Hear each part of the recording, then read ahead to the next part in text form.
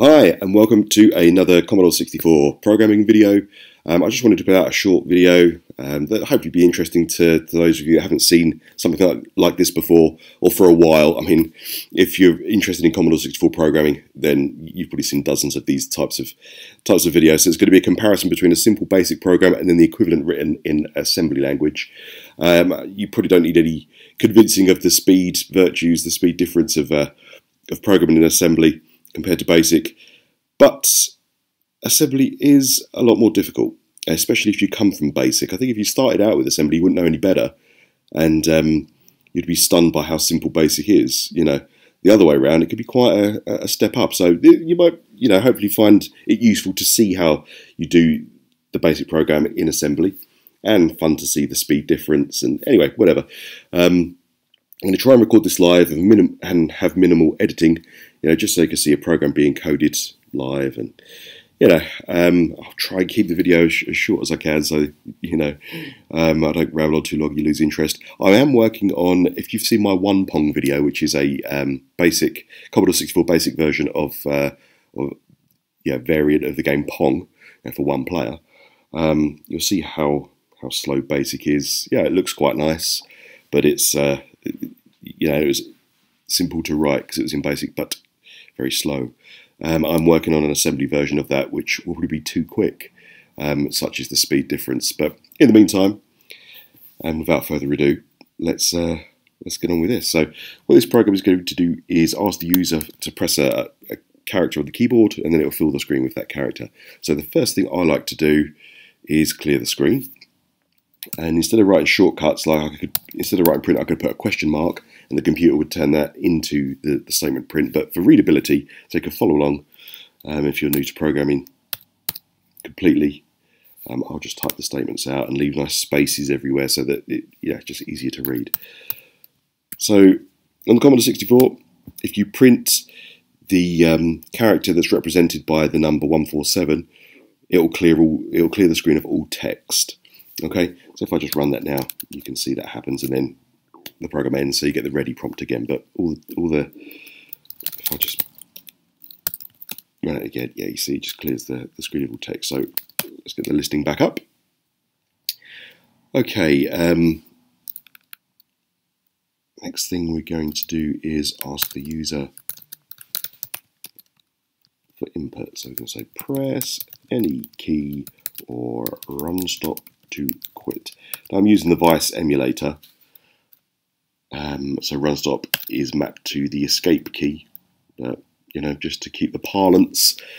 Um, in Commodore 64 terms, I'll, I'll, use the word run stop rather than escape.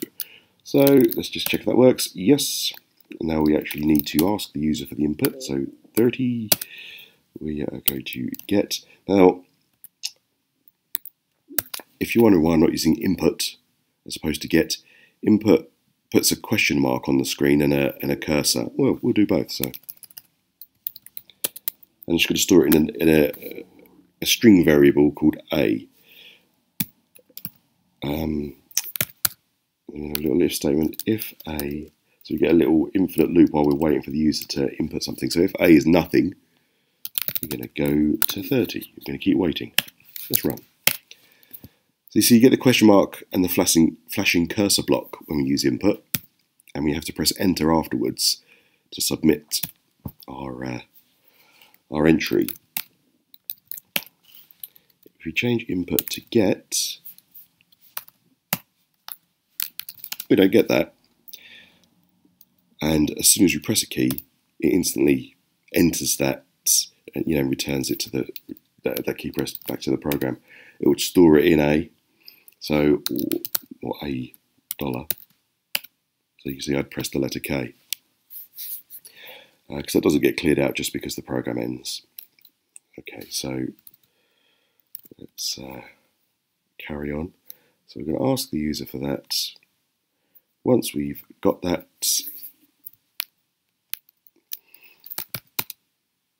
we need to because you can't poke string variables to the screen or poke them into memory. So I'm going to need to convert the character that's been pressed on the keyboard to the, the number. So you can see I've got print CHR147 in the, in the brackets there. I need to get the number for whatever key has been pressed. Okay, so I'm going to store that in B. B with no, no dollar symbol afterwards means it's going to be an integer, a whole number. So B is going to be equivalent to the ASCII representation, or the ASCII number, of the A string. Uh, yeah, let's run that. So I'm going to press E. If I print a dollar, I get E. If I print B, I get 69. So that has worked.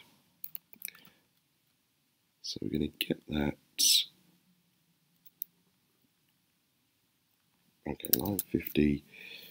We're going to have a for loop. Now the screen is made up of Commodore 64 text mode screen is made up of 1,000 squares.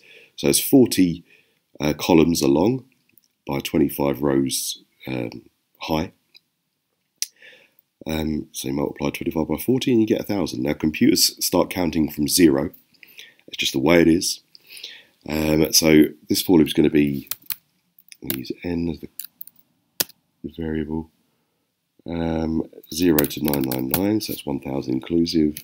We are now going to poke 1024, which is the first space, the first memory location for screen memory.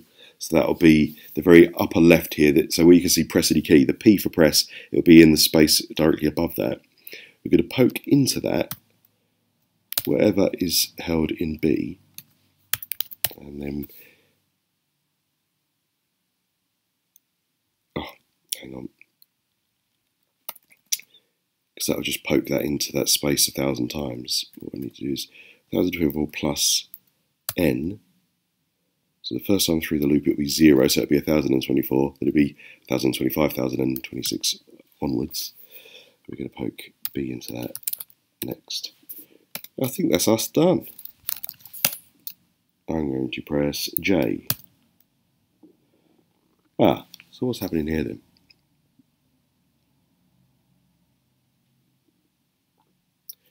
Uh, what is happening is on the Commodore 64, uh, each key has it can represent different a couple of different characters usually. Now on the keyboard that I'm using on this computer, because I'm using an emulator, I don't know. Uh, I, I, can't work that out quickly to know you know what it thinks I've pressed. But I do happen to know that it, to get the alphabet is offset by 64. Um, so I need to, whatever B is, I need to deduct 64 from it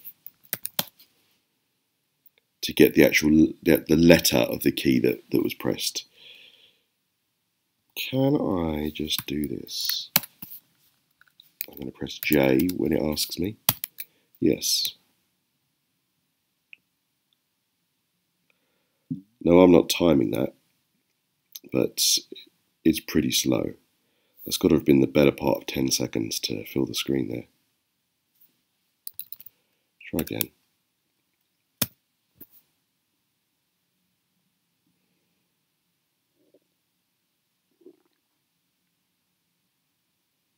Yeah, about 10 seconds. So that's great. Um, we can we've got we've achieved the goal of of making the uh, a program that asks the user for input and then fills the screen with that input. Um, we could just do a couple of things to enhance the program maybe. I like black and white contrast. So what I'm going to do here is at the very start, before we even clear the text off the screen, I'm going to poke into the memory location for the, I think that's the border. I'm going to poke in the value 0, which is black, and I'm going to poke in backgrounds, the memory location for the background color, I'm going to poke a 0 in there, and I'm going to poke a 0 into the memory location for the text, sorry, poke a 1 in the memory location for the text color. So that should give us white text on black background and black border. Indeed.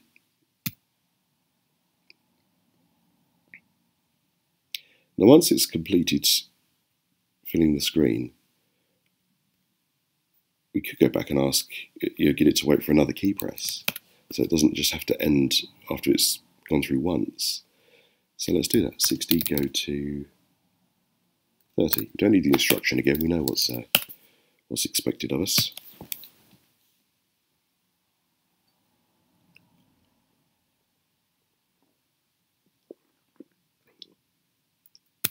Yep, that works fine. Now, as exciting as it is watching the screen fill out with characters this way, that we, we can't, you know, can't really go any further than this, or, you know, I don't think we need to. So, let's uh, write the equivalent program in assembly. So this is Visual, Visual Studio Code with Kick Assembler C64 extension installed, which just makes um, syntax highlighting and error, error spotting, you know, a bit easier.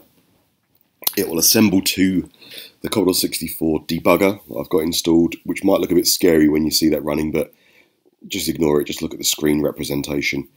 Um, I like to use that because I can see then in real time how a, a program is running, and I'll, I'll, I'll, briefly show you that, but without too much rambling, let's uh, carry on. So with uh, assembly, we have to we have to worry about where we're going to put a program into memory, whereas with BASIC, we just let the, the BASIC interpreter, let the Commodore 64 handle all of that for us. But here we have to put it somewhere in memory, so we uh, specify that by using an asterisk equals, um, going to put a hex number uh, for memory. And I use a thousand, I'm going to use a thousand in this case, which translates to a uh, 4096 in hexadecimal. Sorry, a thousand hexadecimal, which, translates into 4096 decimal. So when we're on the Commodore 64 and the program's in memory, we would type sys 4096 and that would just start executing code starting at that memory location. So we've done that. Now, what was the first thing uh, we got the program to do was to set the border in the background color to black and the text to white. So you can't have multiple commands on the same line in, assembly. Each one has its own has its own line. Don't have line numbers either. So although you can see line numbers down the side here, that's really just for our reference, the, the programmer's reference. Um, the computer, the, the assembler doesn't use those. They use labels.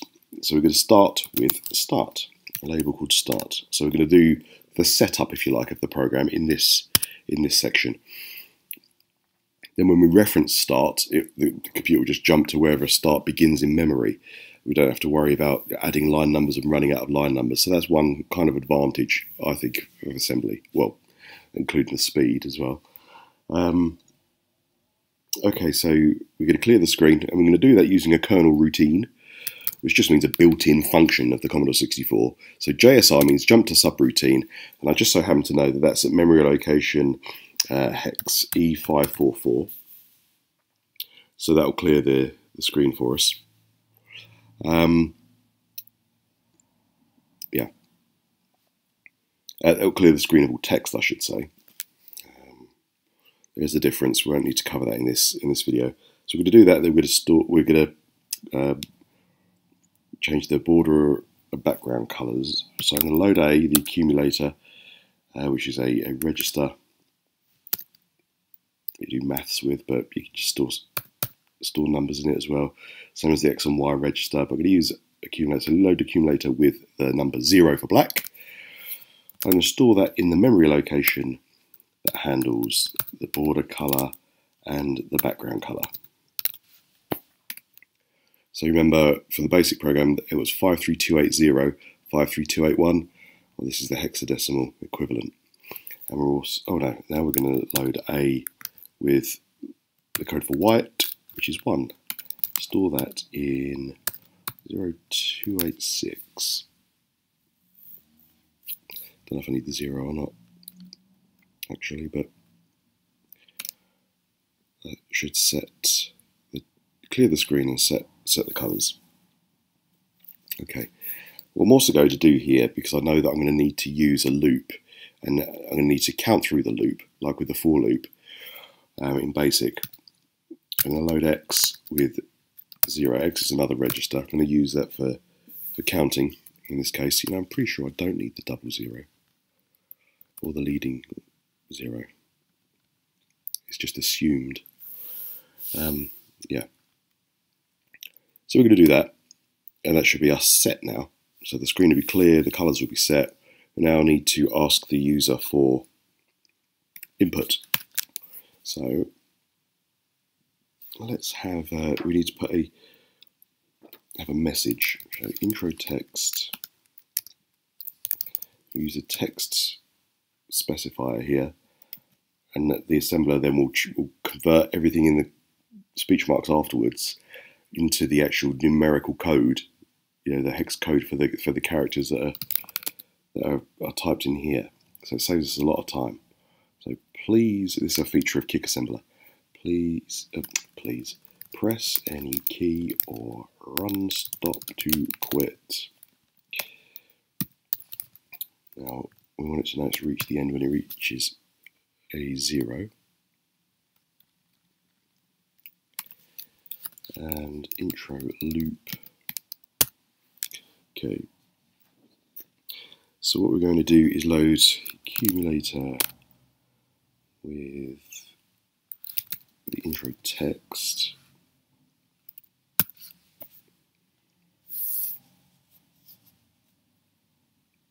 And that'll be the first character will be stored in X position zero.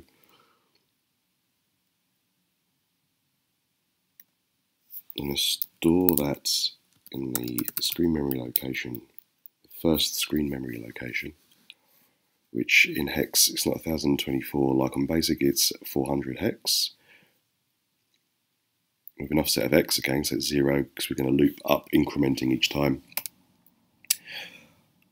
Um, once we've reached the end of the of the of the text, we use a branch if equals so going to branch if equal to 0, um, if the 0 flag is, well, if x is 0, um,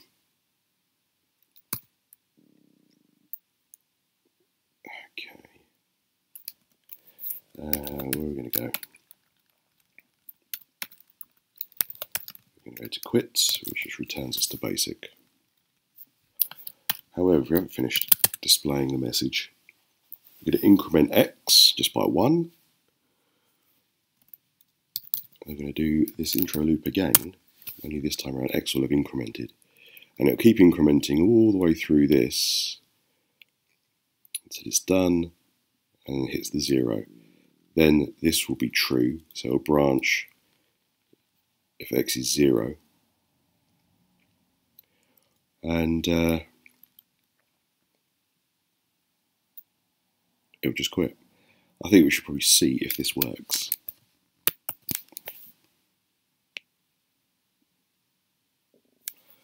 So I have to type sys4096. does work. Although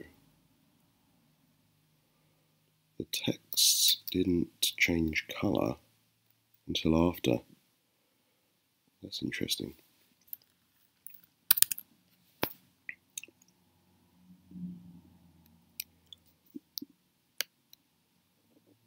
I think that's because the screen wasn't refreshed. So if we do the color change first, which to be fair in basic, that's what we did. We did all the color changing, then we cleared the screen of text.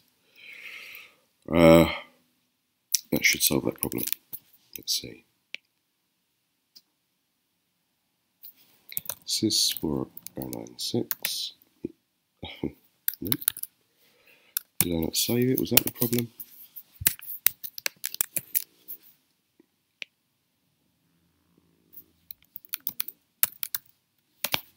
That was the problem. Now I'm missing the P. Seriously.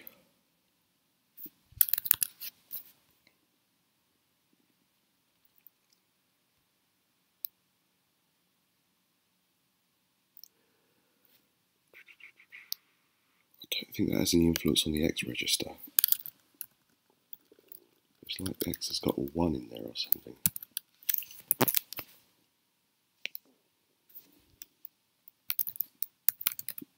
Yeah, what do you know? Okay, um, so this subroutine must use X within it, and uh, therefore the you know it was interfering. So there we go. So that works. We are getting um, we are getting a a funny character, aren't we? At the end, we're getting an at symbol at the end. Let me run that again.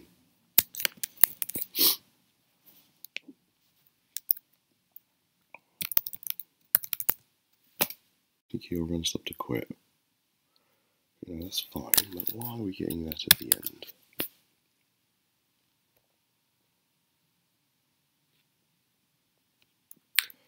Ah, because this check should be done before we output anything to the screen.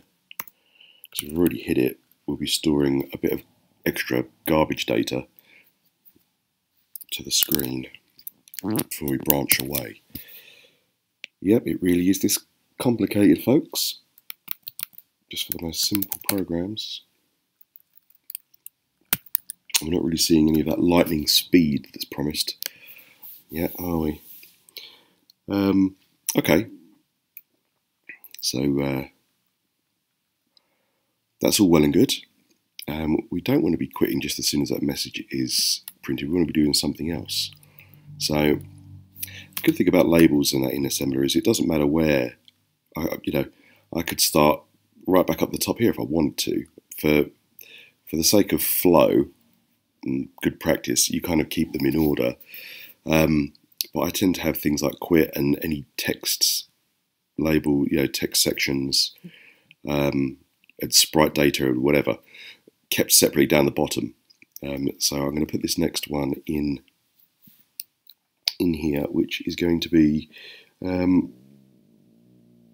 we need to wait for the user. It was the if statement, it was well, the get statement. Sorry, get a dollar symbol, and then keep asking for it if nothing if nothing is pressed. You know, keep waiting. So let's just see how that works um, in assembler.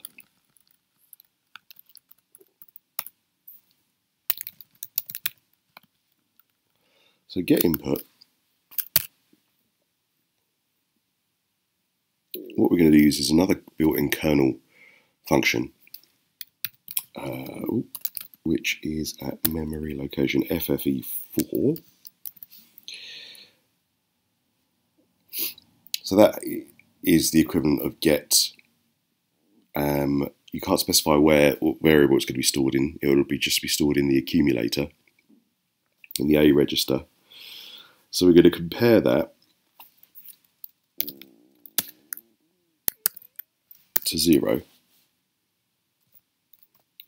Okay, so if nothing is pressed, zero is that at symbol, you know, uh, represented by that at symbol that you we saw previously when I was having that we that we had at the end of the uh, intro text because it was printed in an extra character. It's just whatever happened to be in memory. So anyway, if it's zero, branch if equal uh, back to get input. So if nothing, this is that whole get a dollar. If a dollar is zero, go to the same line number. So it's uh, it's about the same kind of length. It's just not as in, intuitive until you get used to it. Um, that's what we're doing here. Okay, so let's say something was pressed how are we going to know if it's the run stop key? We do another compare, and I happen to know that 103 is run stop or, or escape. If it is, so branch if equal, so it's saying go to if equal, quit. Okay. Anything else, it must be a, a character to, that we want to, want to use to uh, fill the screen with. So what we're going to do is, uh, I'm not going to have time to explain all this if, if, I want the video to be short, but we've got to set the carry because we're using, um, so we're going to be subtracting because the, the processor in the C64 can't actually do straightforward addition and subtraction. Um, oh, yeah, I'm not going to go. Just know that if you're subtracting a number, you need to uh, set the carry flag, and then we're going to subtract with carry. 40, which is that 64. So you know I had the ASCII, um, I got whatever the character was and took 64 off of it. Or in hex, that would be 40. So we're taking that off of it here. So we get the correct letter straight away. Um, I'm going to be using an X loop again to fill it to the screen. So we've got our input now. If there's no jump, you know, branch away away from this, execution will just continue at the next uh, from the next label, the next command. You know, it'll ignore this and just start executing the commands under it. Okay, so it will it will flow kind of linearly um, if we're not redirecting execution um, ourselves. So we're going to we've got to fill the screen up now, haven't we? So we're going to store the store the accumulator, which which will be filled with whatever letter is you know key has been pressed into screen memory an offset of x, which would be zero, so it would just be 1024 0400.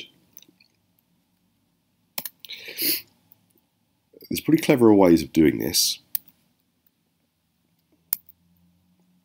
Well, yeah, okay. Don't want to be too too, too clever. Um, I want to show you the results as, as we go. So restoring uh, the accumulator into screen memory. We're going to increment x, so the next time around it will, it will fill the adjacent square. Yeah, adjacent, yeah, square on the screen. Um, branch if not equal back to screen fill. So to carry on until we get back to zero, um, which will be when x overflows from 255, which is the maximum number, back to zero. And we'll see the results of that in a moment. And then we will, well, let's jump back to get input. Because then that should have the effect of just kind of freezing until uh, the user presses another key. And obviously if they yeah, quit or press escape, they can do so. Unscripted videos are poor. Press any key or run something. Press O. Okay, P. So we've got half, or one third maybe, of a program. All works fine. You know, I think under here, I'm also going to clear the screen on exit.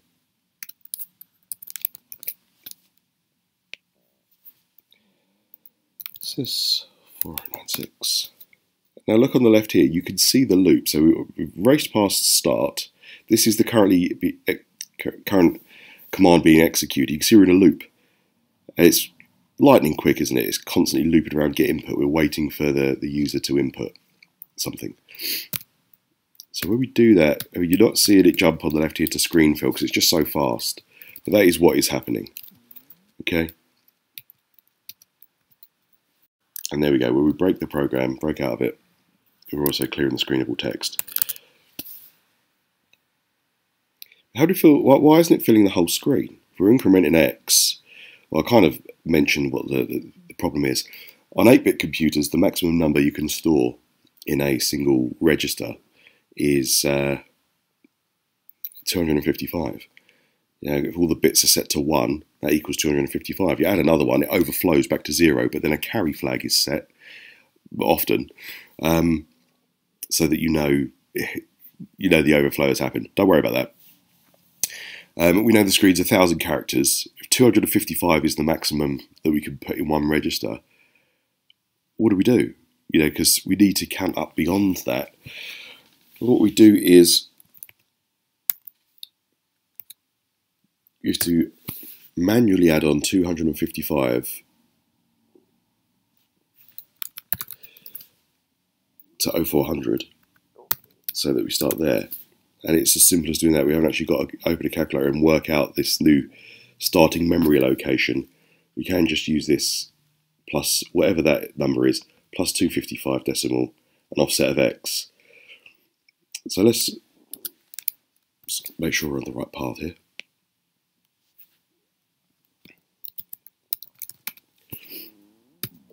Okay, you can see we are. So I'm not going to count each square, but wherever 255 was, what's actually happening, far too fast for us to see, is it's it printing the character there and there, or wherever it is, and then it'll increment one and print there and there. So it's actually filling the screen up from two places uh, uh, at once, if you like, uh, but far too fast for us to have to worry about or care. But, that's that is what's happening, um, because in this loop, you see we stored the accumulator, the, the letter there, 0400, and then we're storing at 0400 plus 255 with an offset of x, then increment x and do, doing it again. Whatever, doesn't really matter. What we now need to do is uh, add 255 again, which we will do in this case by 0, 400 plus, what was 255 times 2? 510. Okay, so let's do that. Ooh.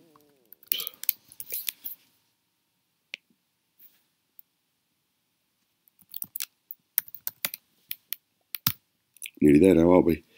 So now to the final one.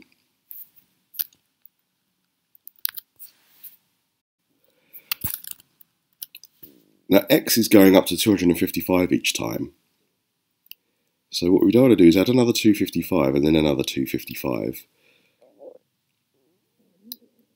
Or we'll end up overflowing um, the, the screen area. So what we need to do is 1,000 less 255 to give us what the location should be, which is 744. And that, I think, is our program.